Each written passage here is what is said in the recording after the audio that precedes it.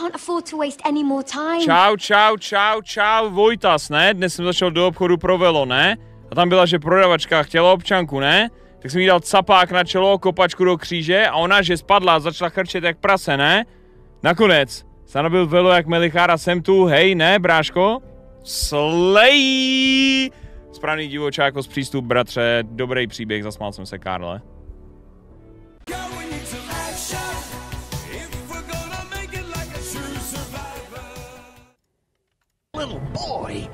Be an uncontrollable man-eater.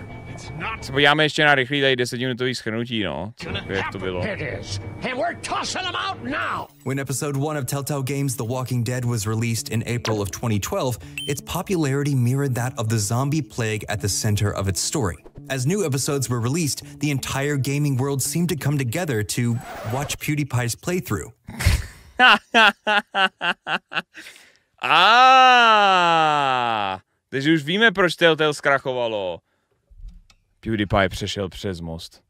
But also to play it themselves. The game made heaps of money and turned Telltale 8,5 milionů.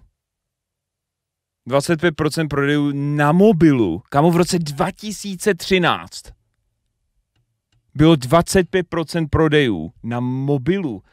Já si pamatuju svůj smartphone z roku 2013 a teda jako nechtěl bych na něm hrát ani Telltale hru. To je krej krej. 40 milionů, 16 dolarů za uživatele. To není moc, no, když jako normální AAA cena je 60, ale... games into a prominent feature of the industry. But much like the in-game choices players were presented with, none of it ended up mattering. While most of us had probably never heard of Telltale Games before they dropped The Walking Dead Season 1 in 2012, the company had actually existed since 2004, purely because the tiny dev team wanted to revive the point and click adventure game genre of the 80s and 90s. The first Telltale employees had come from to genre royalty, which gave the company an instant leg up. Telltale started creating point and click graphic adventure games for notable properties like Homestar Runner, Back to the Future, and even Jurassic Park, but none of their other games came even close to The Walking Dead's level of success. You might remember that The Walking Dead Season 1 came out episodically over a several month period in 2012. That several month period ended up being the space between Season 2 and Season 3 of AMC's wildly popular Walking Dead TV show. So, Telltale basically bridged the content gap for fans who couldn't get enough of the Walking Dead world. Of course, Jo, jo, impatient fans could have just jak se to změnilo, ty vole, jak se to změnilo za těch 10 let. Dneska ty vole Walking Dead skončilo a já jsem o tom neviděl jediný český článek nebo zmínku tady v chatu. Jsem reálně až teď zjistil, že Walking Dead jako je už u konce a že tam je ending, kde je na konci voje Rick voje s vrtulníkem a něco a tohle a teď budou místo toho společného filmu, tak bude samostatná série, kde je Rick a Michonne, pak je samostatná série oznámená Daryl Walking Dead, kde to sdílel Kojima, že jo, protože tam je Norman Reedus. A teď běží ta samostatná série, kde je Negan s uh, Megan. Read the original comics by Robert Kirkman, but Telltale's game series was appealing for more reasons than just its release window and source Maggie. material. Since Telltale wasn't exactly a AAA studio, the whole thing had sort of a indie edge to it. The cel-shaded graphics made the game instantly recognizable and unique, and it wasn't particularly taxing on hardware either, so even crappy laptops could run it. And the story, I mean,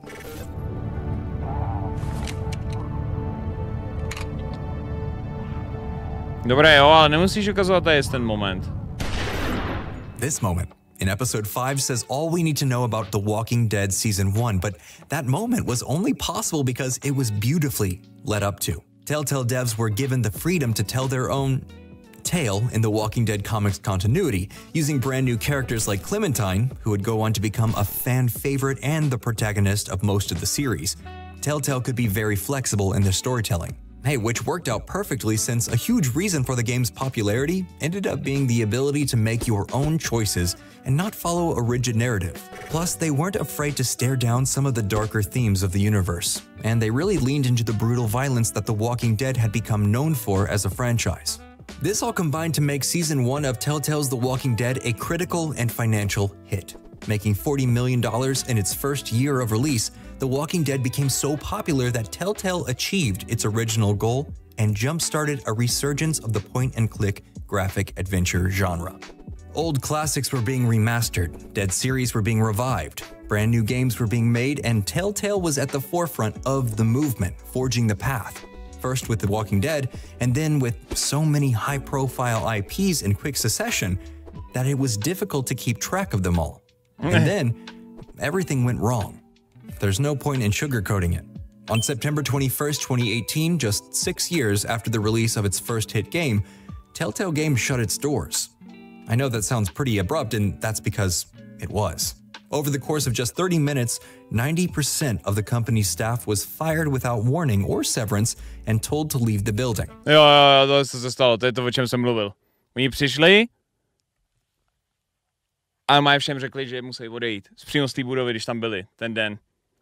This included the voice of Clementine, Melissa Hutchinson, who was in the middle of a recording session when the whole thing went down, and would later write a pretty heartbreaking letter to fans.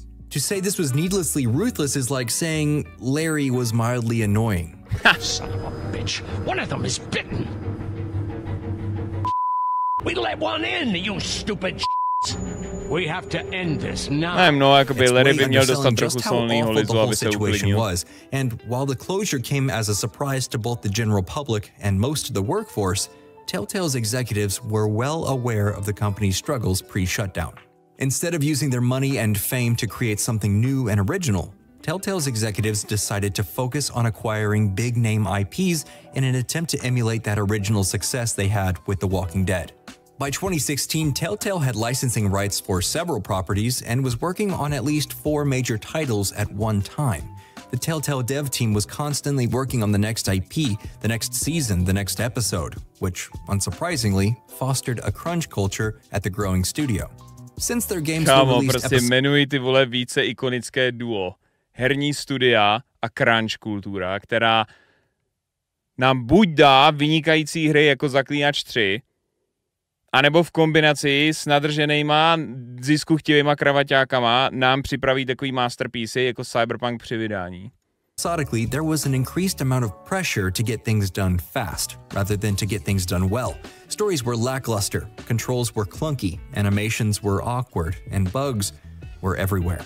Since there wasn't any time between releases to really improve on the basics, Telltale just kept churning out content until it felt dated and boring. This brought oh. more attention to the fact that Telltale Games' trademark, Your Choices Matter, gameplay wasn't as freeform as players had been led to believe. Most of the choices ended up being inconsequential, which would be fine if everything else was high quality. But that wasn't the case at this point in Telltale's history. This all translated to fewer sales, lower critic scores, and a generally negative public perception of a company that had been an industry darling only a few years prior. Even their crown jewel, The Walking Dead series, wasn't safe. While still the best quality releases by far, reviews for the newer seasons were starting to slip, and fewer eyes than ever were on the series as a whole. Nebo Kalisto protokol, kde se crunchema flexilo. Kámo, ne asi, prostě ty šéf takový dement, že vyloženě flexí na Twitteru, že aby to vystihli vydat v prosinci, tak ty vole, drtivá většina vývojářů měsíc neviděla rodinu, vole. A pak to vydají v tom prosinci a běží to na PC na 30 FPS. Kámo, jakoby prostě to se nepodaří úplně každému, no. Investors started pulling out, and Telltale found itself unable to financially maintain the backbreaking workflow it had established. So it shut down and put around 250 people out of work. Fans of Telltale's games were left with nothing but questions. What about the games that were still in development? What about the final season of The Walking Dead? Yeah, the yeah. company had closed in the middle of the season's release. So would the legendary Ty vole, to series byl never shitfest. Ty si odehrál tři díly z pěti. Finální série Walking Dead, ty nejznámější franšízy. A teď čekáš, kdy vyjde čtvrtá a oni vydají ty vole oznámení, že vstoupili, ty vole, že z budovy vyhnali všechny vývojáře a oznámili jim na místě, že ta firma končí. To bylo fakt jako skvělý den na to ty vole Bay Walking Dead a Telltale fanoušek, no. To jako čekání na ty finální dvě epizody, než to vzali Skybound Games a dodělali je, ty píčo, no. Have a proper ending? A Change.org petition was created two days after the company shut down to save The Walking Dead and have someone, anyone, pick up the series.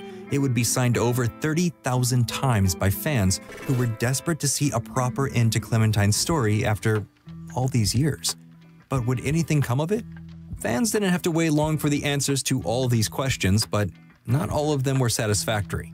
Most of Telltale Games' library was sold off to a company called LCG Entertainment, and the first thing LCG did was re release Batman, the Telltale series, with some minor bug fixes and a new filter that basically just desaturated the original colors.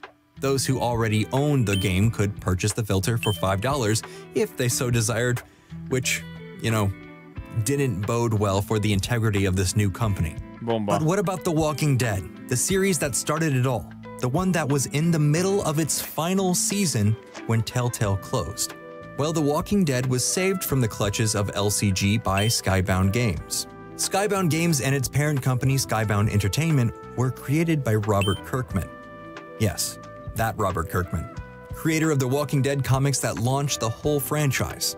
Skybound and Kirkman had been working closely with Telltale since Season 1's development, so who better to take up the mantle? But there was still the question of the original developers. What was Skybound going to do about them? In an interview with Variety, Skybound Games CEO Ian Howe had this to say We decided that we wanted to be completely transparent with the team. We went up and said, We would like you guys to come back and finish the game. We don't feel anybody else can do it. We don't feel anybody else should do it. We really only want you guys to do it, but we don't know how long this is going to take and we don't know what the long term looks like. The responses from the Telltale devs were overwhelmingly positive, with most just wanting to complete the project and do it to the absolute best of their abilities, and that's exactly what they did. And while I wish there was some kind of fairy tale ending where all the original devs got their jobs back under Skybound, that's not this kind of story.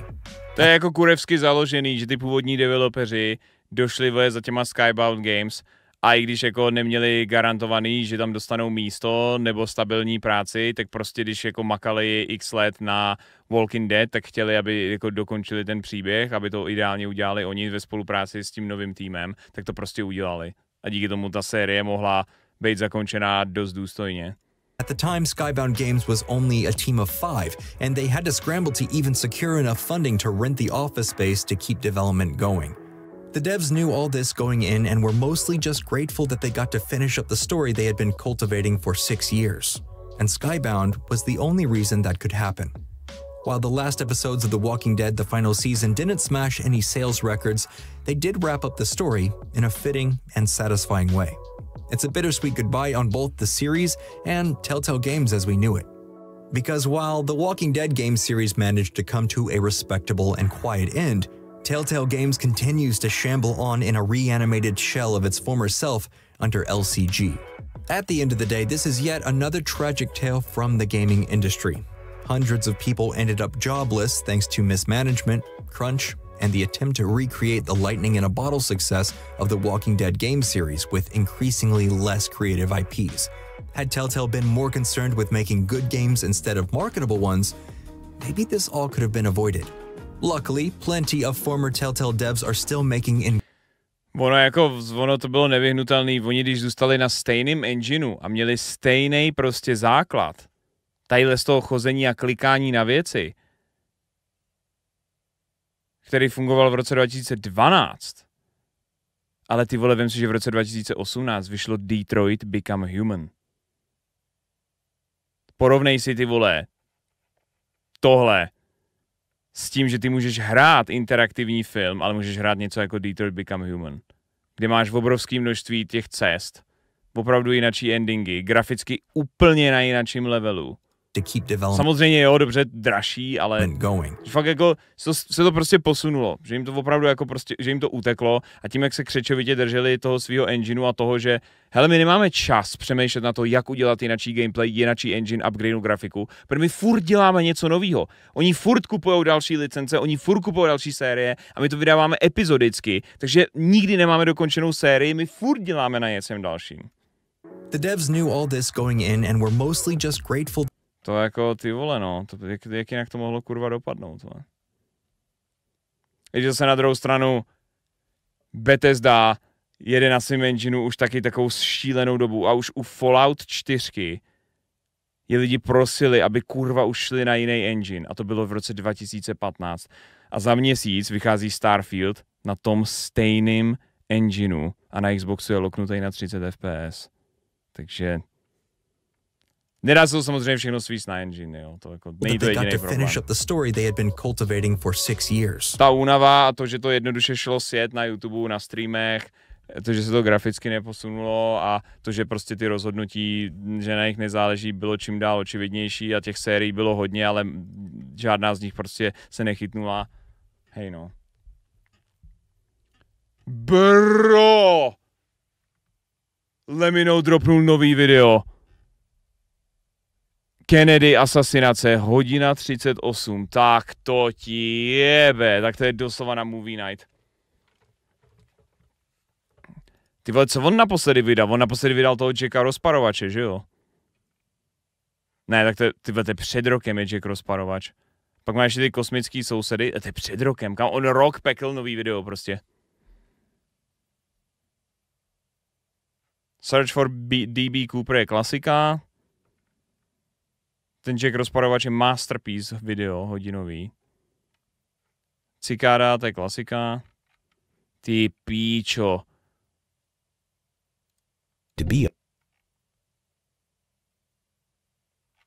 Kámo, tak tohle to, tohle to si musím dát někdy v noci na streamu.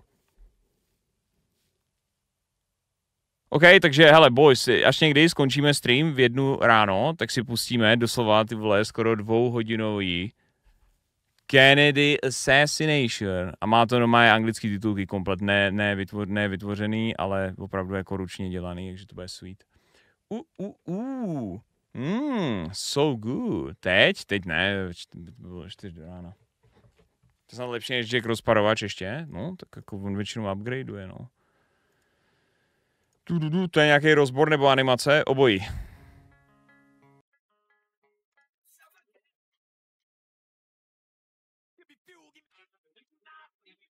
Ale jako, ale docela příjemný, no, docela příjemný to Walking Dead. Teda Walking Dead, uh, Game of Thrones Telltale. Docela jsem si to užil. Jako kdyby, fakt říkám, kdybych to hrál, kdybych to hrál v tom roce 2014, tak bych nebyl zklamaný. Naopak bych si říkal, wow, ty jo, to je cool, že ještě udělají i hru s úplně novým jako rodem. To mě fakt zajímalo, jaký další spletitý linky a jak všechny budou dobře zakončený, až ten seriál skončí. To je neuvěřitelný, tohle je v píku, kámo, to může být jenom lepší, až ještě Martin dopíše ty knížky.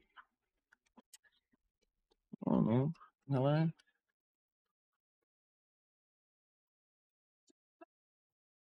Mně se zdá, že když to vyšlo, tak to, nej, tak to dostalo právě nejvíc hate. Jo? Podívám.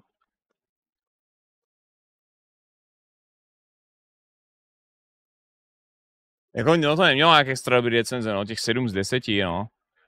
A to user jako tak nějak, to nějak jako to... 4 z 10 pro. Hra nabízí brutální smrti, dobrý art style, konverzace jsou docela cool, speciálně Tyrion. Dialogové možnosti na nich absolutně nezáleží. Oproti hrám jako Witcher, kámo doslovně, no jistě. Sáno, vole, on totiž, když dokončili tu sérii, tak vyšel malej indie gem, který trošku sebral Game of Thrones vítr z plachet. On totiž vyšel, ona vyšla jistá indie videohra v květnu 2015 a představila milionům Američanů trošku jinačí pohled na středověký fantasy, no.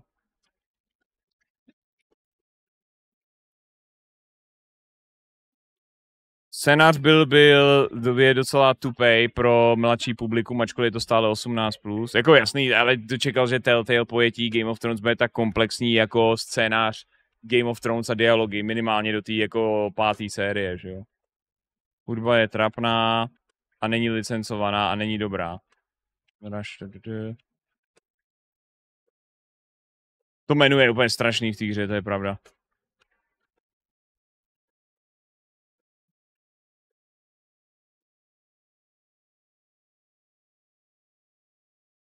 Buggy, buggy. Fucking noob, son of a bitch, motherfucker, trash game. This game is trash. Not worthy to play. Fuck you, rpdlatflikus. Týbeček byl prostě triggered, že všichni umřeli a pak byl ještě znova triggered, jak, skončila, jak skončil ten seriál. No, no, nebylo to dobrých pár let pro Game of Thrones fans, co ti na to mám říct? Dobře řečeno, well said, seems good. Jako nejhorší je, že ta hra je strašně zdlouhavá. Jedna série Game of Thrones do 6 kapitol po dvou hodinách, ty by to měl udělat třeba do páté série, nemusím představit, koho by to bavilo. Jako jo, no, na, na to, že to jako pokrývá jednu sérii seriálu, tak dohrát to je prostě, dohrát to je na 12 hodin, protože to má 6 kapitol a každá je na 2 hodiny, no. S tím, že, s tím, že seriál je většinou, seriál je nějakých vždycky 50 minut a počet epizod většinou bylo 9, 10, no, ale jako samozřejmě tam se toho vešlo jako víc těch zvratů, no. Teďko dropne Telltale Rod Draka. Já se teďko zrovna jsem se díval znova na House of Dragon, na prvních asi první 3, 4, 5 epizod a jako je to dobrý, jsem zvědavý na, na druhou sérii. Škoda, že bude až příští rok, no, si, musíš, si musíš počkat. Mě by zajímalo, jestli s tím Rodem Draka po tom úspěchu první série najedou na ten grind a bude každý rok nová série, anebo se s tím budou srát a finální série Rodu Draka bude v roce 2030, vole. Což jako teda to jako, hele, Game of Thrones taky zvládali každý rok až vlastně do té se, až do sedmé série. Až do sedmé série zvládali Game of Thrones každý rok.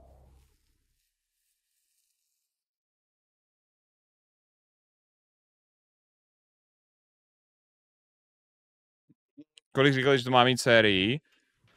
Mm, já vůbec nevím. Já myslím, že R.R. Martin říkal, že 4 až 5 sérií na to, aby byl rod draka odvyprávěný pořádně. Je jeho názor. Oficiál, oficiálně, to je, oficiálně to je potvrzený jako druhá série, že bude. To, to bylo greenlitnutý hnedka, jakmile odvysílali tu první. Myslím, že ty čtyři jsou tak nějak jako optimální, no, záleží, s tobou chtít rašovat nebo ne. Ona už ta první je jako relativně rychlá v tom, že tam jsou jako tři nebo čtyři timeskipy v jedné sérii a mění se ti herci. A ještě to je matoucí tím, že některý herci se měnějí, ale některý ne. Jo, to znamená, že třeba prostě ty vole Renira jde z mladý herečky na 30 letou herečku a vole frajer prostě v plátový zbroji Chris, Sir Kristen Cole ho hraje stejný herec celý seriál. Jo. A, jo, a ani mu nepřidají třeba vousy, nebo make-up, nebo něco. On vypadá úplně stejně. Od první epizody, kde je ty vole Reniře 18. A pak jí najednou hraje od půlky 30 letá herečka. To samý ty vole prostě tu Alison Hightower. Ale týpeček vypadá stejně celý seriál. Jo, tam prostě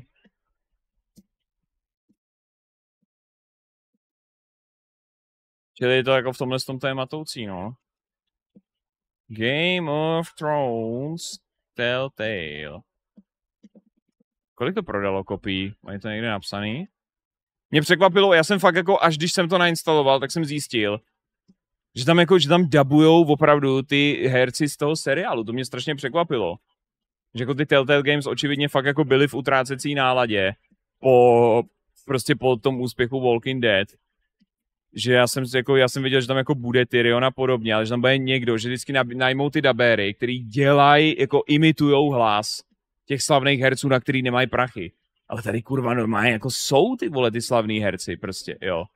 Tady je Kid Harrington, tady je Emilia, tady je prostě, tady jsou všichni, Peter Dinklage, vole, jo. Ramsey tam je taky.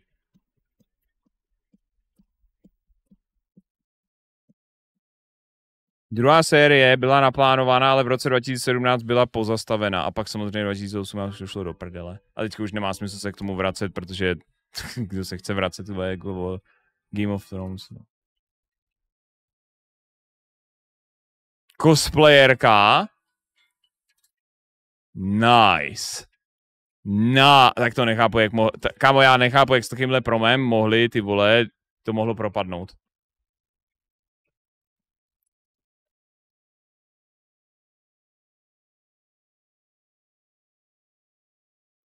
Někde nejsou zmíněný prodeje, nebo jsem to neviděl. Otázka, jestli někdy zveřejnili, že jo? I didn't realize Telltale sales were this bad. To je přímo na jejich forech?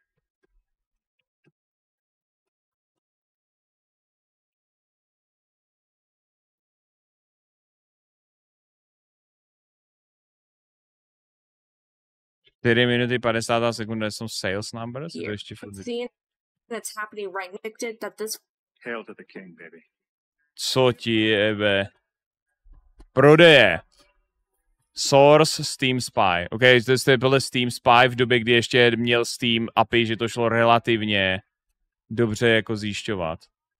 A to je čistě Steam, čili ne konzole, ale i tak jako je tam no, že Walking Dead mega hit. První Walking Dead fucking banger, jo. Doslova 3,5 milionu majitelů, z toho to hrálo jenom 2,5 mega, protože, vole, tyhle ty klasické hry, vole, kupuješ a pak je nikdy nespustíš, vole. Wolf Among Us šel na milion, ale to je jako nová značka, která doslova jako prostě to... Ale druhá série, ty vole, Walking Dead, šla jenom na 1,5 milionu kopií. Ačkoliv to bylo pokračování doslova Walking Dead v době, kdy ten seriál byl ještě furt extrémně kurva sledovaný. To byli v tom vězení, že jo, primárně. Governor a tohle. Ty a Wolf Among Us úplně nová série a i tak měl takovýhle drive, jo, to je cray, cray. Game of Thrones slabší než Tales from Borderlands, kde dvojka Borderlands vyšla 2012, čili dva roky před tímhle. Tak Tales from Borderlands měl lepší prodej než, než Game of Thrones v roce 2014, kdy skončila, po tom, co dojela nejlepší série toho seriálu. Brrr. Jo, tady to je prostě vidět, no. Oni měli jeden obrovský úspěch finanční. A měli pocit, ty vole, že teďko jako to je jednoduše replikovatelný. A jediný, co bylo jednoduše replikovatelný, je, že tyhle to jelo takhle dolů. Co ti jebe, to je krej, krej. To je krej, krej.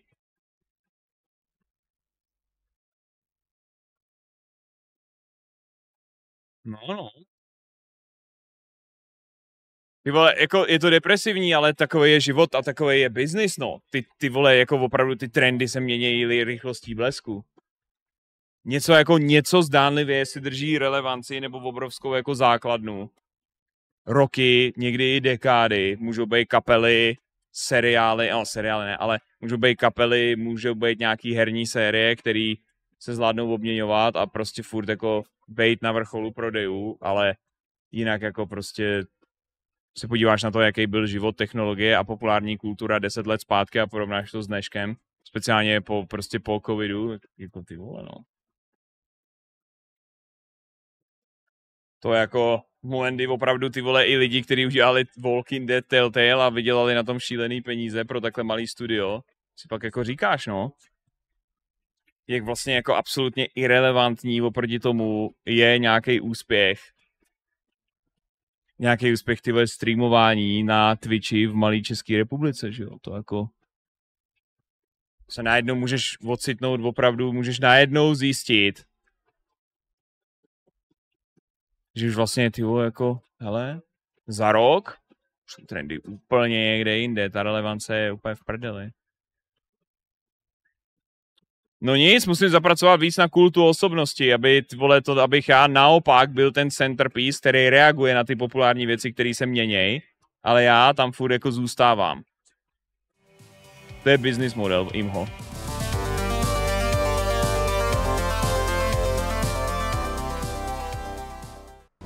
Nemůžu sničovat. I never liked the man anyway.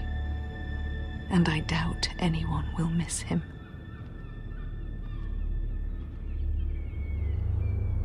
Če já nemůžu sničovat na Tyriona, OK? To nemůžu udělat homiemu. Cvrčku, díky za 17, děkuju, bratře. You think we hired this boat for nothing? I don't know. That was a rousing speech you gave, little brother. But who knows how much they heard. After you sold me out to Daenerys, I've given a lot of thought to staying here. Leaving you to your Westeros and your Pojďte foresters. se pravda, že když jsi byl menší a máma chtěla, aby si vynesl koš, tak si ho odpálkoval slovy jedině za pěti bábů. Ne. I was angry. Ale když jsem byl starší a nechtělo se mi s košem, tak jsem řekl bratrovi, No jestli ho nevynese za pěti bábů. I'd follow you anywhere, little To je brother. pravda. Just try not to get us killed.